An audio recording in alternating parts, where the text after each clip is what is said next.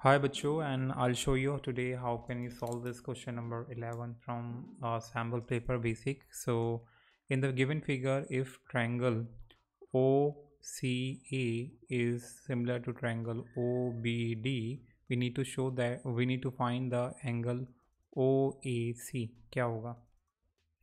ठीक है तो इसको फाइंड करने के लिए, क्योंकि दोनों ट्रैंगल हमारे सिमिलर है तो सिमिलर ट्रायंगल के कॉरस्पॉन्डिंग एंगल्स इक्वल होते हैं, यानी कि एंगल डी इक्वल हो जाएगा एंगल सी के। और एंगल डी कितना है? हमारा 58 तो एंगल सी भी हो जाएगा हमारा 58 ठीक है? ऐसे ही एंगल बी इक्वल हो जाएगा एंगल सी के एंगल बी इक्वल हो जाएगा एंगल ए के, और एंगल ये वाला इक्वल हो जाएगा एंगल इसके। ठीक है? तो लेकिन अभी राइट नाउ हमें एंगल डी पता है तो एंगल डी को यूज़ करेंगे। तो angle C equal to fifty eight हो चुका है। और इस एंगल को फाइंड करने के लिए हम क्या कर सकते हैं? Uh, क्योंकि ये एक लीनियर पेयर ऑफ़ एंगल्स है। लीनियर पेयर है क्योंकि हमें पता है इस पूरा एंगल ये पूरा एंगल कितना होगा? हमारा 180 होगा।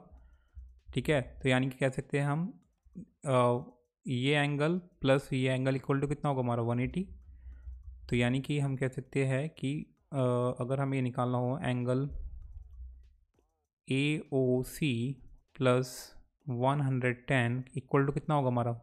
वन एटी होगा। दोनों एंगल का सम कितना होगा? वन एटी ओ ए ओ सी कौन सा एंगल है? ए ओ सी ठीक है? दोनों का एंगल का जो सम होगा कितना होगा? वन एटी तो एंगल ए ओ सी हमारा निकल जाएगा।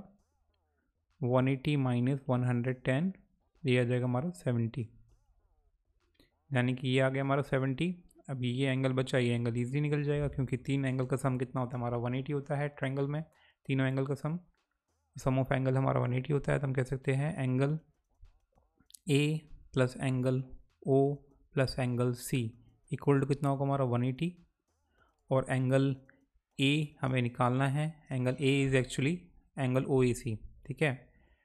So angle O A C plus angle O अभी हमने निकाला सेवेंटी, प्लस एंगल सी हमने निकाला अभी हमने फिफ्टी एट, और ये आ गया हमारा वन एटी।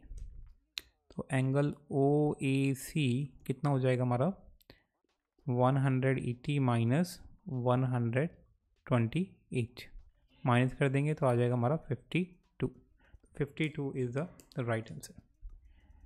ठीक है तो that's how you can solve this question. So yeah hope you like it. Subscribe for more video. Till then